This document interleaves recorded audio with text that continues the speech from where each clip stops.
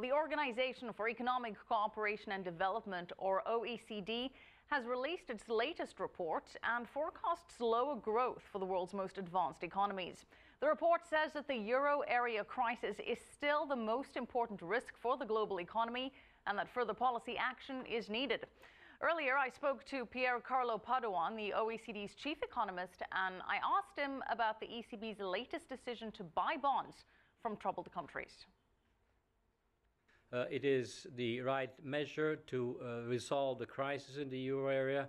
However, I like to stress that it is only one measure. Others are needed, uh, meaning that we need to uh, have a process towards a full-fledged banking union, and countries will need to step up and continue with their adjustment process in fiscal and structural areas. So what specific actions do you recommend be taken? Well, we recommend that weak countries, which are in negative growth, and current account deficits continue to improve their competitiveness, uh, which means increasing productivity and having wage restraints, while surplus countries also contribute by accepting somewhat higher inflation and also improve their investment opportunities. For instance, in Germany, this would help both the German economy and rebalancing in the euro area. Now, Mario Draghi said that he would do whatever it takes to save the euro. Do you think that ultimately the euro can be saved? I am much more optimistic today than I was months ago. Uh, if we look back and we, and we can see the progress that has been made in strengthening monetary union, this is impressive, although we're still in the middle of the process and more needs to be done. Now, OECD Chief uh, said yesterday, Wednesday, that Spain deserves European Union support and has the right to ask for a bailout to unlock required finances.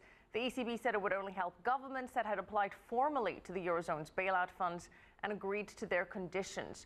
What kind of action do you expect Spain will get, and what kind of action do you think Spain deserves to get? Well, a country like Spain is already undergoing a very important adjustment program in structural, fiscal, and banking. Uh, maybe something more must be added to formalize with the new instruments in place that are being announced by the ECB to formalize the relationship. But the, the essence of the problem is that Spain is adjusting and Europe is supporting Spain's adjustment. Now, Europe supporting Spain's adjustment, you seem quite satisfied with what um, the ECB did today. Do you think that the euro debt crisis can be contained? You're more optimistic following the announcement today? As I said, this is an important step forward, but more needs to be done. Countries in the euro area, many of them, are still in deep recession. Unemployment is on the rise, so we cannot say we're out of the woods yet. I'm just saying that we are avoiding the possibility of a euro breakup. This is extremely important. Avoiding or kicking the can further down the road?